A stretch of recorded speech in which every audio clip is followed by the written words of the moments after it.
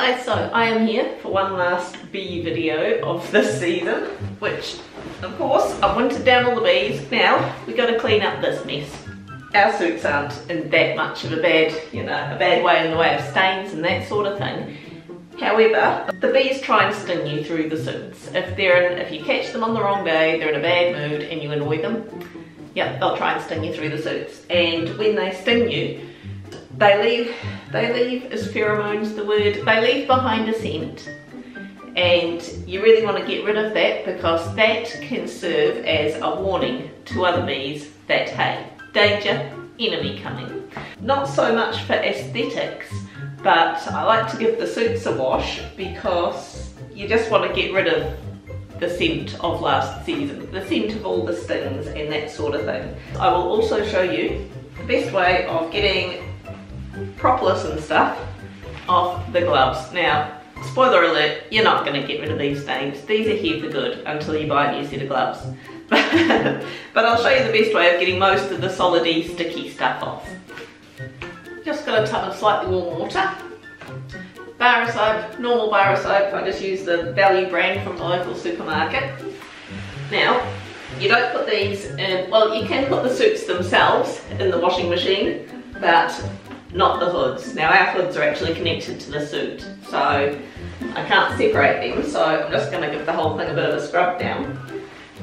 Now you don't really, I mean, everyone's got their own technique. Some people use bleach on them, some people just use like washing powder, just, I'm going to give these just a bit of a soak in the bath after this, but I just get my soap, get my water, dunk it in, literally just give it a bit of a scrub.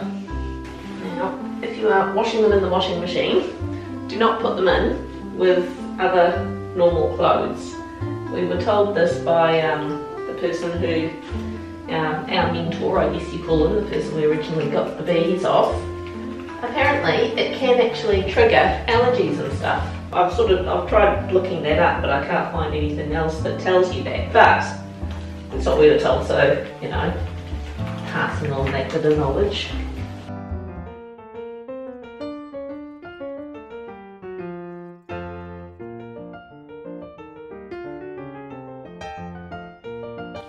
I've actually heard of people using um, dishwashing liquid as well to try and get all the stains and stuff out of their suit. As I say, the, just the smell of the stings is our main concern, not so much getting it looking pristine. But yeah, you, you go out and check on your bees and you know, you go there smelling of bees that have previously stung you, then um, you're pretty much putting a target on your back and you're just going to wrap the bees up, so...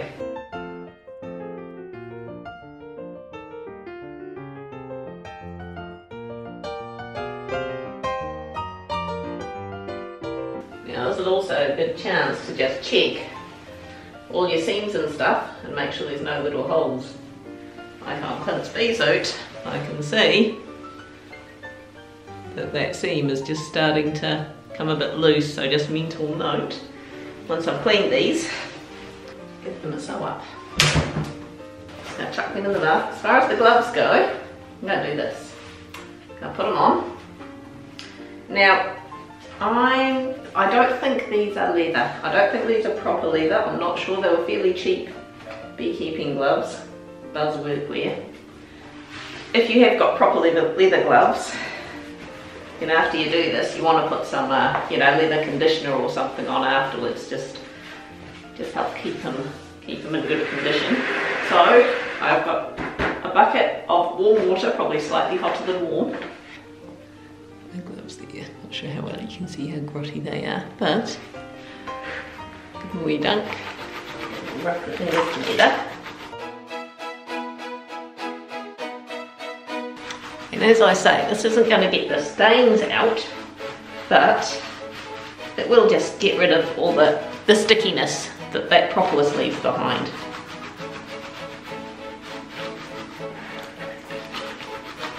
So of course those bees, they designed that propolis to not come off anything. They're pretty awesome.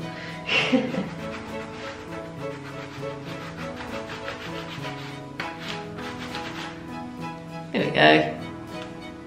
And I'm just gonna hang those up to hang those up to dry. chuck a scoop of laundry powder over them.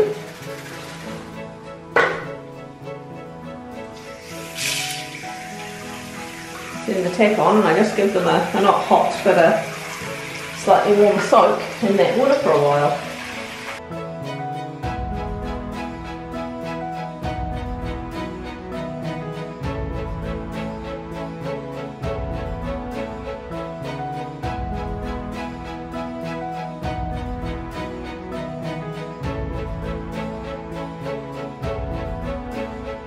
Look at the colour of that water already. nice. The next plan of attack, I'm just going to turn the cold tap on, let, the, let this water drain out. I'm just going to give them a good rinse and then hang them up to dry.